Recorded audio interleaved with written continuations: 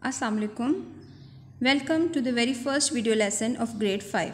I am your science teacher from Honors Kindergarten and Secondary School.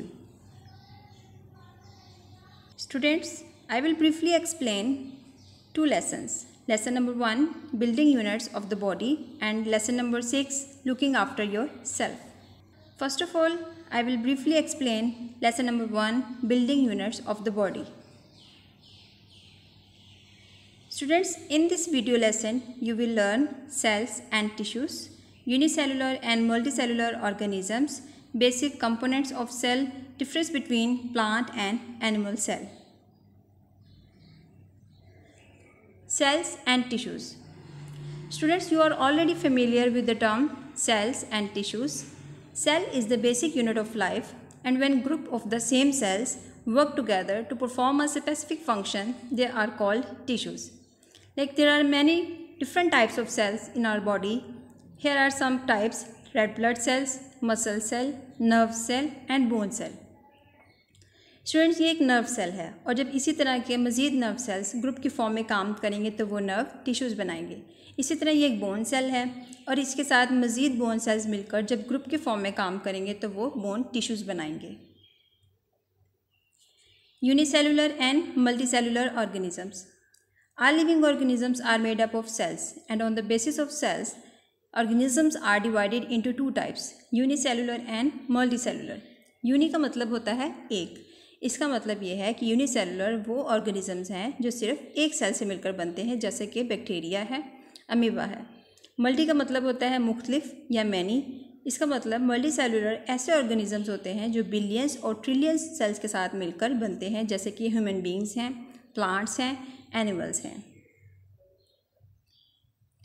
animal cell. Yes students here is animal cell and all these are organelles of the animal cell. And we will discuss the organelles of the cell in our next slides.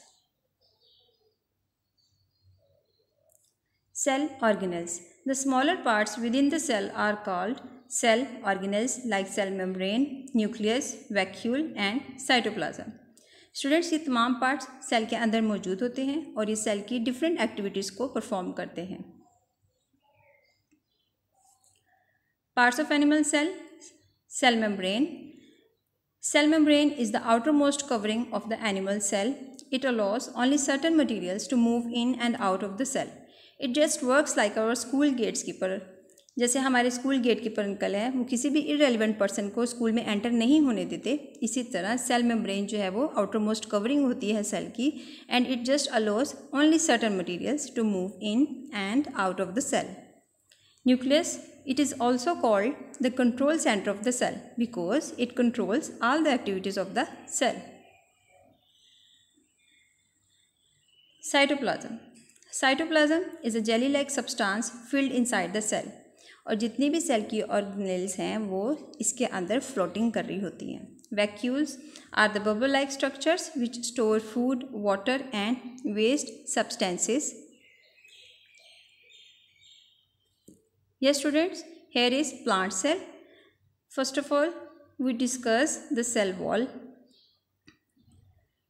cell wall is also called brick wall because cell wall is the made up of a hard material called cellulose cellulose एक tough material होता है और cell, plant cell की जो cell wall है वो cellulose से मिलकर बनती है और इसकी हार्डनेस की वजह से ये सेल को प्रोटेक्शन भी देती है और इसको शेप भी देती है।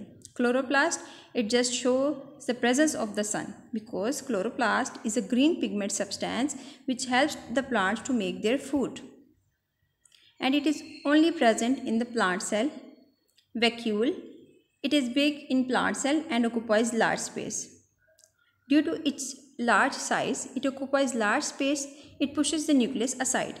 क्योंकि इसका जो है वो घेर ज़्यादा होता है क्योंकि इस ये जगह ज़्यादा घेरता है इसी वजह से न्यूक्लियस जो है वो एक साइड पर पुश कर जाता है difference between plant cell and animal cell students अब तक हम जितनी डिस्कशन कर चुके हैं अब हमारे लिए प्लांट सेल और एनिमल सेल में डिफरेंस करना मुश्किल नहीं होगा तीन ऐसे कंपोनेंट्स हैं जो प्लांट सेल और एनिमल सेल दोनों में मौजूद होते हैं, जैसे कि सेल मेम्ब्रेन है साइटोप्लाज्म है और न्यूक्लियस है। साथ ही साथ क्लोरोप्लास्ट जो है वो सिर्फ़ प्लांट सेल में मौजूद होता है, जबकि एनिमल सेल में मौजूद नहीं है। वैक्यूल जो है इसका साइज़ प्लांट सेल में बड़ा होता है और एनिमल सेल में वैक्यूल छोटे छोटे साइज़ के होते हैं। सेल वॉल जो है वो सिर्फ़ प्लांट सेल में मौजूद है एनिमल सेल में मौजूद नहीं होती। Lifetime of cell every cell has different life span her cell की जो वो है एक लाइफ टाइम होती है। उसके बाद क्या होता है कि सेल्स जो हैं पुराने सेल्स जो हैं वो डेड होना शुरू हो जाते हैं और न्यू सेल्स जो है वो रीजनरेट होना शुरू हो जाते हैं। जैसे कि टेस्ट बर्ड सेल्स हैं। ये स्टूडेंट्स जल्दी से बताएँ मुझे टेस्ट बर्ड सेल्स कहाँ मौजूद होते हैं? यस yes, ये हमारी टंग पे मौजूद होते हैं ताकि हम मुख्तलिफ़ चीज़ों के टेस्ट को फ्लेवर्स को टेस्ट कर सकें ठीक है? और इनका लाइफ टाइम कितना है? Only seven days red blood cells इनका लाइफ टाइम फोर मंथ्स और जबकि नर्व सेल्स का जो लाइफ टाइम है वो सबसे ज़्यादा है eighteen to one thirty years क्योंकि नर्व सेल्स कहाँ मौजूद होते हैं? हमारे ब्रेन में, ठीक है? और अगर हमारे नर्व सेल्स जो हैं वो डेड करना शुरू करेंगे, इसका मतलब ये है कि हमारी तो मेमोरी लॉस होना शुरू हो जाएगी। इसीलिए नर्व सेल्स का जो है लाइफ टाइम सबसे ज़्यादा है eighteen to one thirty years key points cell is the basic unit of life organism made up of single cell are called unicellular organisms while organisms made up of billions of cells are called multicellular organisms Animal cell is made up of cell membrane, vacuole, nucleus and cytoplasm. Plant cell is made up of cell wall, cell membrane, nucleus, vacuole, chloroplast and cytoplasm. Plant cell is different from animal cell because of chloroplast, cell wall and the size of the vacuole.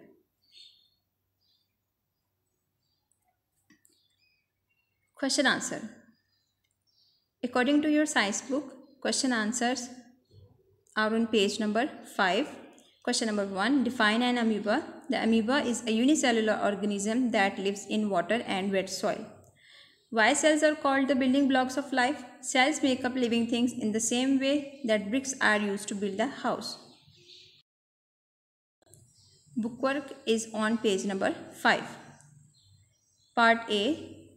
Match the column. Students, you have to match the column. Part B. Filling the blanks and then question answer. Yes students, here is Venn diagram and it is on page number 6. In Venn diagram, on the one side of the diagram, here are the features of the animal cell and on the other side of the diagram, here are the features of the plant cell and in between you have to write the common features of both of plant and animal cell. Yes students, here are some organelles and their functions. Okay students, read this chapter from book and read the question answer from your summer pack for better understanding and then resume the video again to learn the explanation of the next chapter and complete your book work. Now students, we move towards next lesson looking after yourself. Students, in this video lesson, you will learn microorganisms, useful and harmful microorganisms, types of microorganisms, infectious microorganisms, keeping healthy, ways of preserving food. Micro organisms micro organisms are very tiny living things they are so small that they can only be seen through microscope they are present in the air in our bodies and in water students micro organisms बहुत छोटे छोटे जानदार होते हैं और वो इतने छोटे होते हैं कि हम उन्हें सिर्फ़ माइक्रोस्कोप के थ्रू ही देख सकते हैं, ठीक है? और ये इर्द गिर्द हर जगह मौजूद हैं। हमारी बॉडीज़ में भी मौजूद हैं एयर में भी मौजूद हैं और यहाँ तक कि ये वाटर में भी मौजूद होते हैं। Useful and harmful micro organisms students जहाँ पे हार्मफुल माइक्रो ऑर्गेनिजम्स हैं तो साथ ही साथ हेल्पफुल माइक्रो ऑर्गेनिजम्स भी हैं, ठीक है? हम पहले हेल्पफुल माइक्रो ऑर्गेनिजम्स को देखते हैं, जैसे दूध का दही में तब्दील होना और फिर दूध का पनीर में तब्दील होना, ये माइक्रो ऑर्गेनिजम्स के थ्रू ही है। मशरूम जो है, ये फंगाई की एक टाइप है जो हम एज अ फ़ूड यूज़ करते हैं, ठीक है? अब दूध का दही में तब्दील होना, ये किसके थ्रू है? बैक्टीरिया के थ्रू होता है। ये एक प्रोसेस के थ्रू है, जिसे हम फर्मेंटेशन का प्रोसेस बोलते हैं। इसमें क्या होता है कि हम दूध को पहले हल्का सा गर्म कर लेते हैं और फिर उसमें दही शामिल कर देते हैं। दही जो है उसमें ऑलरेडी बैक्टीरिया मौजूद होता है, ठीक है? अब जब दही को हम दूध में डालते हैं तो वहाँ पे बैक्टीरिया जो है वो बहुत रैपिडली ग्रो करना स्टार्ट कर देता है और फिर जितना दूध है उस सारे के सारे दूध को वो दही में कन्वर्ट कर देता है। इसी तरह विनेगर है, ये हेल्पफुल है। यीस्ट है मशरूम है, ये एज ए फ़ूड यूज़ होते हैं। तो हार्मफुल माइक्रो ऑर्गेनिजम्स को अगर देखें तो हमारे पास सबसे पहले क्या है? वायरस ठीक है? हार्मफुल वायरस जो है, ये स्मॉलर देन बैक्टीरियाज होते हैं और viruses can grow and survive only when they are in the living cells of organisms ये कब सर्वाइव करते हैं जब ये लिविंग सेल्स में मौजूद होते हैं और ये कौन सी डिजीजेस कॉज करते हैं influenza chickenpox measle and mumps harmful bacteria Bacteria are unicellular organisms. They grow and multiply very rapidly. They can make you ill. Bacterias भी जो है, वो बहुत तेज़ी से ग्रो करते हैं और जिन डिज़ीज़ को ये कॉज करते हैं, उनमें कौन कौन सी है? फ़ूड पॉइजनिंग है वूपिंग कफ है टूथ डिके है कोलरा है और टाइफॉइड है। Harmful protozoa protozoa are unicellular organisms if they enter the body they can live and grow there they grow in most places and are commonly found in water और जिन disease को ये cause करते हैं, उनमें क्या है? डायरिया है और डायसेंट्री है। प्रोटोजोआ भी जो है वो यूनिसेलुलर ऑर्गेनिजम्स हैं और ये जब बॉडी में एंटर करते हैं तो फिर ये वहाँ पे रहना शुरू कर देते हैं और ग्रो करते हैं। और जब ये बॉडी में रहेंगे ग्रो करेंगे तो इसका मतलब ये है कि वहाँ पे डिज़ीज़ को स्प्रेड करेंगे। ठीक है? Types of micro organisms here are different types of micro organisms bacteria viruses fungi and protozoa How microorganisms enter our body?